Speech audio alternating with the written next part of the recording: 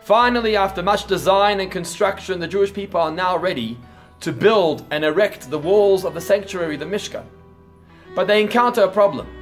The walls are far too heavy to lift. They can't possibly get the structure up. So Moses, Moshe Rabbeinu turns to God, and God advises and says, You begin the process. Lift the walls as high as you can, and I will then ensure that they are erected and standing firmly. This partnership between man and God expresses itself in every area in our lives. Whether it's finding a spouse, buying or building a home, finding a job, or creating our own business, there are always two partners involved me and God. And each of those partners need one another. I can't accomplish what I want to accomplish without God's input. But God won't make a move until I take the first step.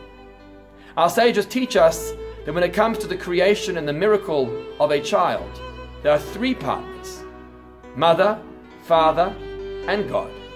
But that is true really in every area in our lives.